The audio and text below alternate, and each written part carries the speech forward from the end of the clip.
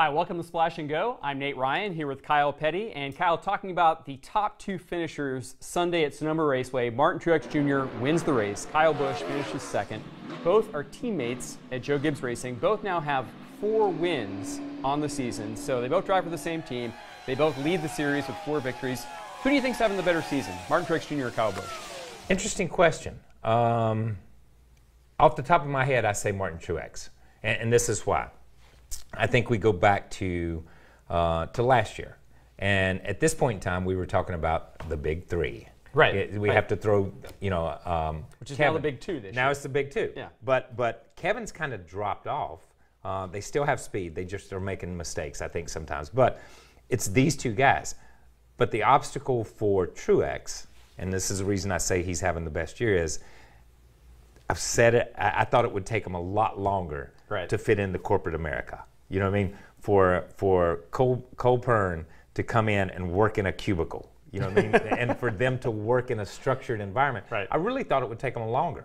I, I really did. I did not see them being this successful right off the bat, even though it was Joe Gibbs Racing. So I think they had to overcome a change of culture and a change of philosophy, maybe structure, uh, to fit how they how they perform uh, into somebody else's box, and they've done a tremendous job. So I think, especially over the last four or five weeks, I think that Truex and Cole have hit their stride there, and, and I think they've had the best. Yeah, I, I agree with you. I, I feel like you, you have to grade on a curve Yeah. when you consider what Truex has done. He had a little bit of a slow start, but he's won four of the past eight. I mean, obviously, Kyle Busch, the numbers say points wise, he's Yeah. second. He's got 15 top 10s in 16 races, which is phenomenal. But I think an argument could be made either way. Yeah, and, and, and you look at Kyle, and once again, I, I think Kyle, I- I, will say this, I do believe we're getting, we used to have the Jimmie Johnson syndrome, where if Jimmie run fifth, it was like, well, big deal. Right, right. It's Jimmie Johnson, man, he should run fifth. What are you talking about? You know what I mean?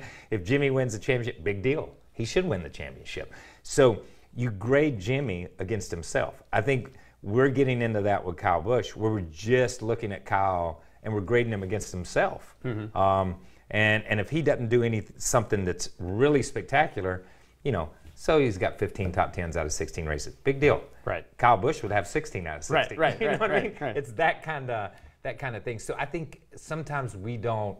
We're going to get into it if we don't watch. We'll get into the same the same mode where we don't give him credit for what he is doing. He gets Uh, penalized for his success, Yeah, he gets penalized for his success. And good way to put it. Yeah, and he is a phenomenal driver. But you look at what Martin Truex Jr. now has done on road courses. He's now got three wins at Sonoma. He's won at Watkins Glen. Somebody reminded me yesterday he won the first race at Mexico City, going all the way back to 2005 in the Xfinity Series. So he's always been a good road racer. But it, you know, maybe as much as Kyle Busch is is sometimes penalized for being so good. Yeah. We forget and underrate Martin Truex Jr. and how good he is as a driver as well. And, and it's funny. I, I think I think we forget how versatile Kyle or Martin Truex Right, is. Yes. Um, when, when you look at that, I forget how good a road racer he is. It is. It's easy to get lost. You know, we go, we still go to these places. It's like Jeff Gordon had 975 wins at Sonoma. You know what I mean? I mean that, that's false. That's false, people. That's an exaggeration. But you know what I mean. So who's the greatest road racers of all time? And you throw out Tim Richmond, and you throw out uh, Jeff Gordon, and those guys. Truex is putting up numbers that rank uh, along with those guys. Right. Um, and, and I don't think we pay attention to that. Truex's Achilles seems to be Daytona and Talladega. When, when I look at, at, at the being the more rounded driver, I think Kyle is still the more rounded driver because he's he's in the mix everywhere we go. Truex still hasn't risen up to that to that point where you say, okay, it's Talladega, we got to watch that 19 car. Yeah. You know, it's Daytona, we got to watch Truex.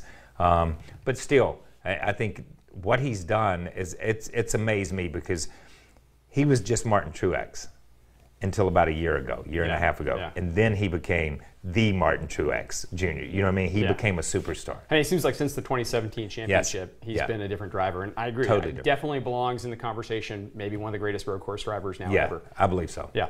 All right. Well, certainly Chicagoland Speedway this weekend. NBC picking up the schedule. Kyle Busch, Yes. the defending winner of that race, by the way. Martin Truex Jr. also a top five finisher last year. So be watching for that. You should be watching NASCAR America weekdays 5 p.m. on NBCSN. Thanks for watching Splash and Go.